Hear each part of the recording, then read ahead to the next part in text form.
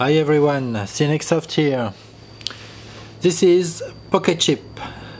It's a game console, retro game console, portable Linux computer and development board. And it only cost $49. So, uh, what we have here? We have a QWERTY keyboard with arrow keys, numbers, uh, home and power button, we have a resistive touchscreen, uh, some IOs to control external hardware. Uh, if we look closer, it doesn't look straight here, but I can confirm that you can add your own headers and it will work just fine.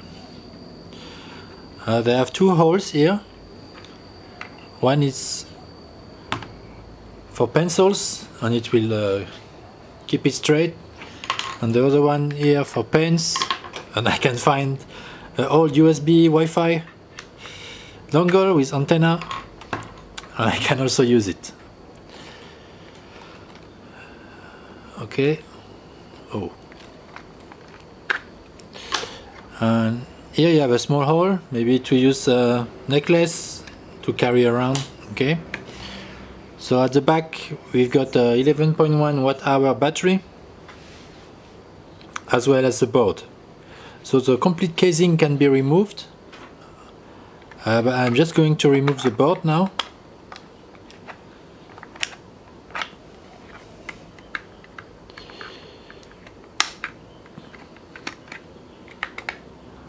Okay, and here you have the markings for the pins so that's a tiny board. Here we get Bluetooth and Wi-Fi. This one is a flash USB port and uh, audio output, micro USB port for power and I think programming. This one is you want to connect an external battery.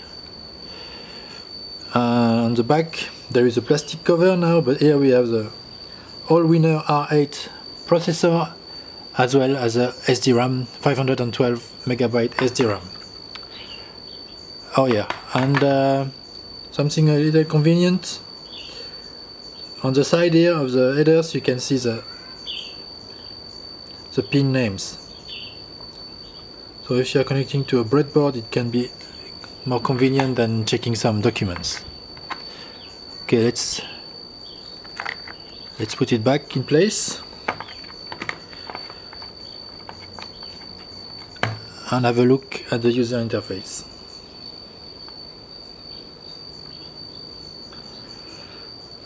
this is a Cortex A8 processor at 1, 1 gigahertz, so it takes a little while to boot, it's normal.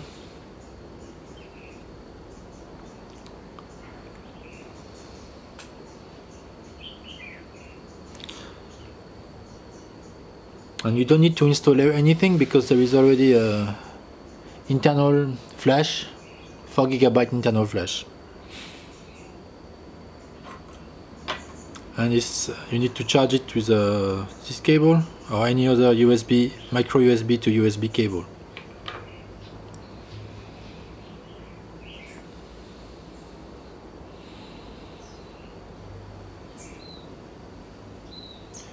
I think the boot takes about one minute.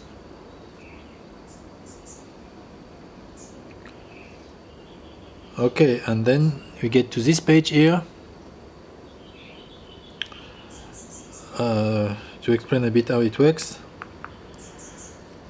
So you can use the keys to go through it, but it's a touch screen, so you can also it explains the different features, terminal, Pico, 8 for games, some voice application, and this is a resistive touchscreen, so you can use like a pencil for better accuracy. Okay, let's exit. So once uh, we start, we have the battery level here, Wi-Fi, settings, so I've connected to Wi-Fi, no problem it's only 2.4 gigahertz. Uh, this one is brightness. And this one is volume. There's no speaker but this is the volume for the headphones I think. So this is a Linux computer so we have a terminal. So let's check if it's working yes.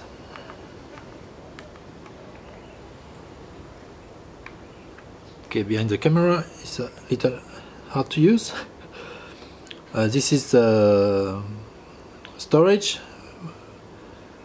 The rootfs is 3.6 gigabyte in total and I have installed a few things already? So there is 3 gigabyte left. Memory 496 megabytes. And let's check the processor itself.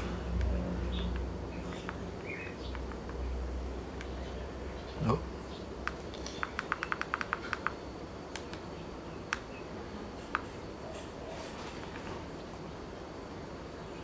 the uh, keyboard has tabulation here so completion works. And we can see it's a single core Cortex A8 processor by Allwinner.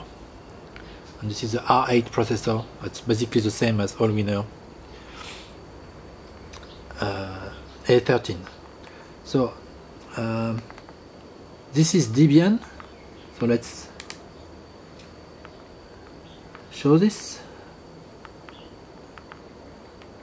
Okay Debian 8 so apt is working fine.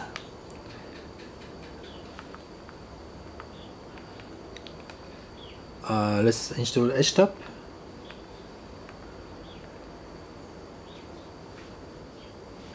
Oh yes I need to be sudo of course.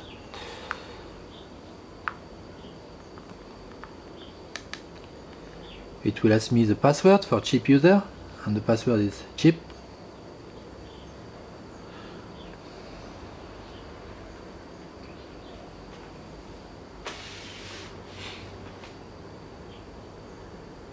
it's a small utility so it will not take too long to install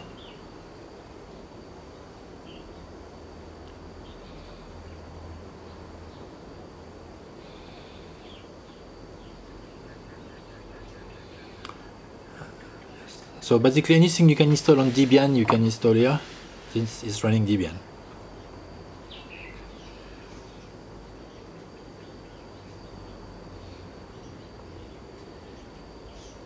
And I have installed Doom. I will show you soon. But first, okay, quick look. HTOP.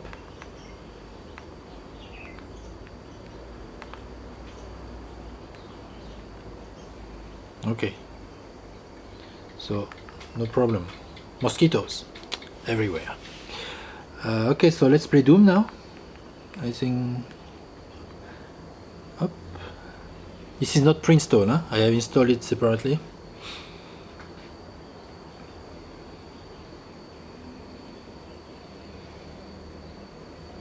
okay so I'm not going to play I just show uh, it's running fine and I will exit. Uh, yes, so the keys are a little strange to use the game.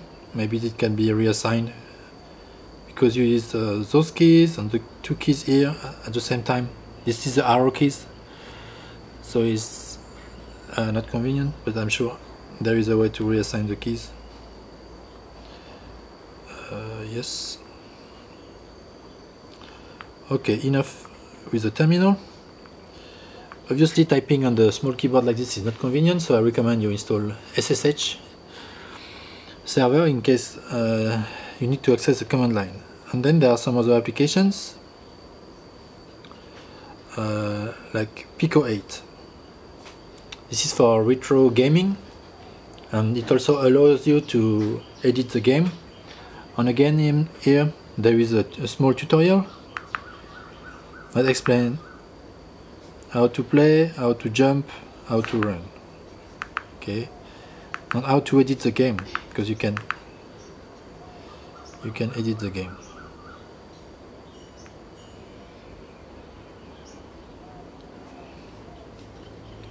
okay there have some pre-installed games so let's take the first one Celeste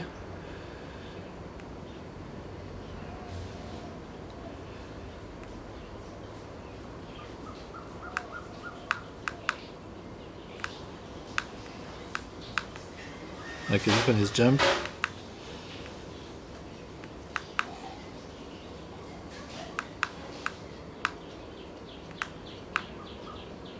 Okay, I'm going to die because I never manage this. Alright, so you have a few games uh, this style that you can edit and play around. Okay, let's exit then there is another application to make music so yeah this one I have not tried but you have to connect the headphones because there's no speaker right so I have not connected speaker either.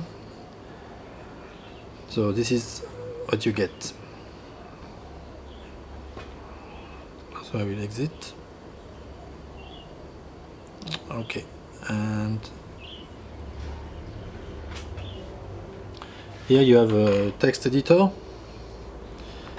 So A B C D E F G. Okay and uh, here you really have to use a, a pencil or some other input device because uh, the menus are too small?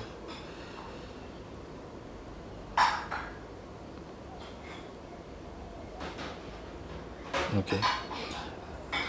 And finally you have a file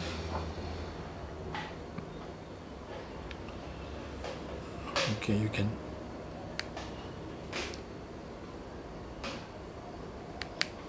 check some pictures this one is a screenshot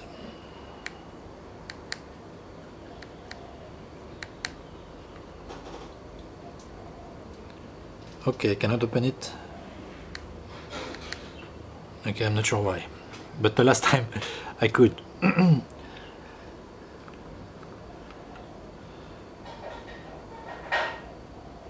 okay. Oh, I did open it right now. Okay, and you have help and access to the menu on top. Yeah, but let's try to exit. Close Windows. You can also press the button here to get back to the beginning you also have help menu and all documentation is on the getchip.com website so you can learn how to control the IOs reinstall the firmware if something goes wrong and so on.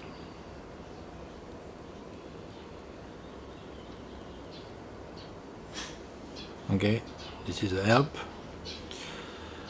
and okay so I go back home like this. So yeah it's quite it's quite fun to use you can play games use uh, the Linux machine just like a Raspberry Pi. The performance should be very similar to the original Raspberry Pi. It has uh, the same amount of memory 512 megabytes and a similar processor. A little faster actually. So let's check the exit menu. Oh and one more thing.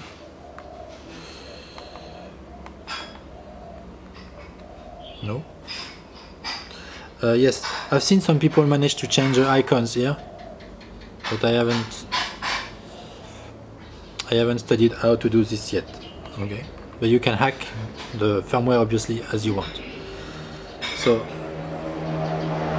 I think that's enough for now. So you have uh, four options in the exit menu, flash software, reboot and sleep. So let's turn it off.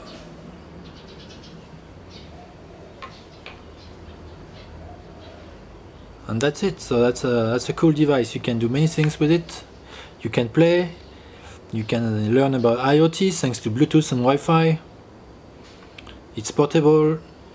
it's quite fun and it's only $49 so it might be a nice gift for your children or even for yourself alright thanks for watching bye bye